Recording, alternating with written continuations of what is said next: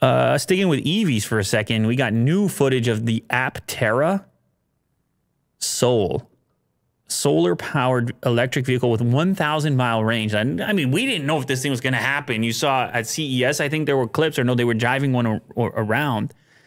This is wild, like super lightweight, three wheel vehicle. Elon said he never do anything like this.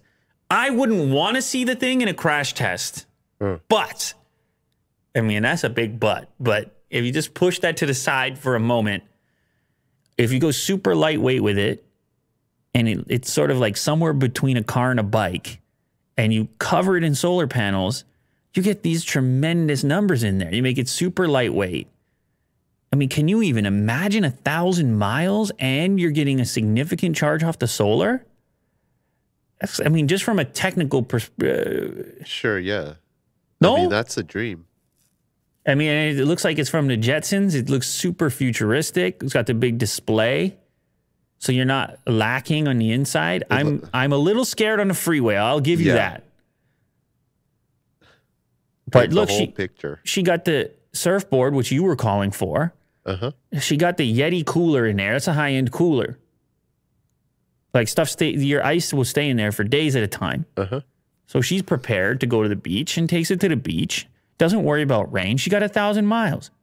She's having a party. Doesn't worry about rain. She says, I'm going to go. And look, she looks over here at her display and she goes, I'm not even done with this day. I'm about to travel to the next beach. Is what happens in the clip. And she's flying on the freeway. And you're like, oh, I'm going to go explore the next beach. Oh, no, let's go to the next beach.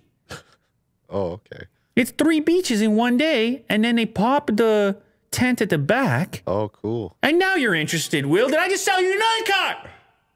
Yeah, I want this one.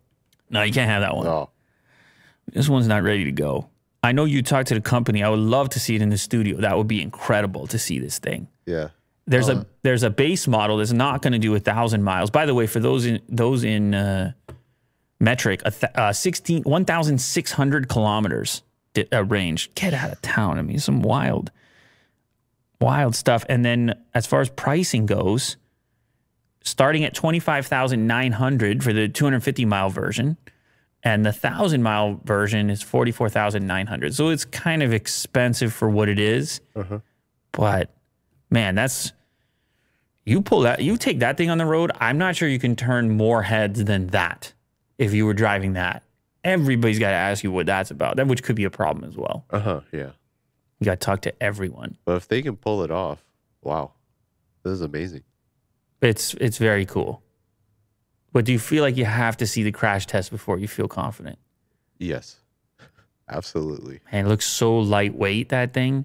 Well, maybe around town though. I don't know.